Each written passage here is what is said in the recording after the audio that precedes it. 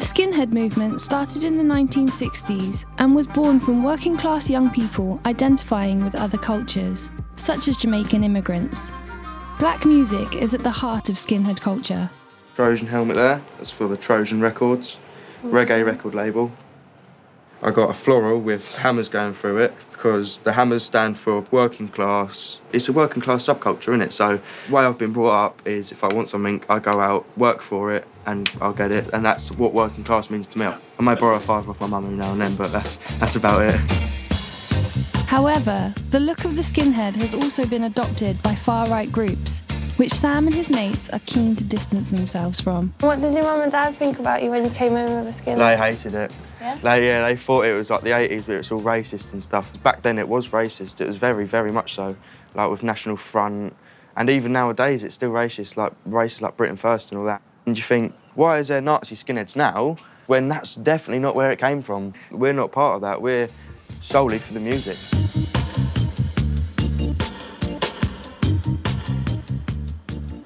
Growing up a lot of my life in a kind of small seaside town, my grandparents were the landlords of a pub there. We'd have lots of mods and skinheads pass through all year round, especially in the summer. So I've known for a long time that boots and braces don't make a racist.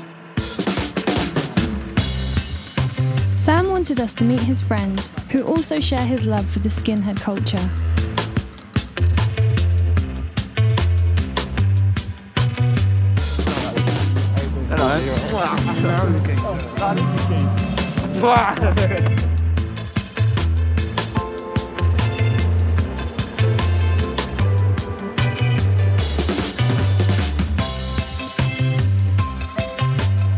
What is the general reaction that you guys get here in Margate? Well, it doesn't matter where we are, we get dirty Yeah, looks. Everywhere you go. Just, uh, everyone automatically assumes it's something to do with like neo-Nazis and white power. yeah. Do you have any tattoos? Oh, cool. Got my Reggae Fever one now. Cool. That was my first one. And then I've been getting all these done in Maidstone. Is it important for you to mark your skinhead culture on your skin?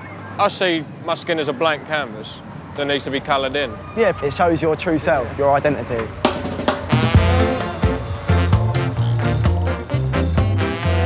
Yeah, but let's yeah. that. You don't have any seatbelts or nothing.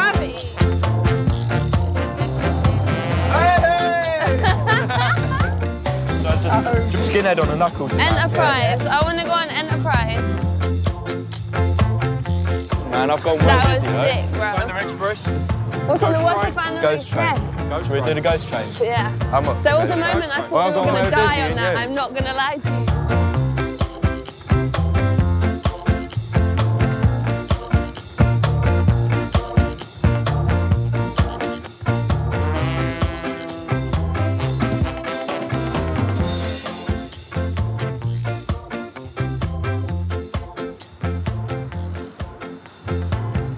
I like when it gets swollen, like when you freshly have a tattoo. What do you reckon, Tay? Yeah, I like that, mate. That's sweet, that is. Pushy. They're so immersed in the skinhead culture and it's almost like they're, they're trying to reclaim it for its original meaning and keep that skinhead culture going with the music and the aesthetic, the whole lifestyle and the whole way of life. Margate, it is like our place to be. It's just where it all happens. You chuck on the boots, you chuck on the braces, whatever, and you all, all of a sudden get that feeling. You get that like that reputation. All the people I know who are like skinheads and mods never tried to fit in with the crowd in the first Nah, place. Nah. Not at all. Like, We're like the black sheep, do you know what I mean? yeah. There, there, you will see every now and then with a black sheep, there may be two, there may be three. Do you know what I mean? If it's three black sheep, that's our three. We're the three black sheep.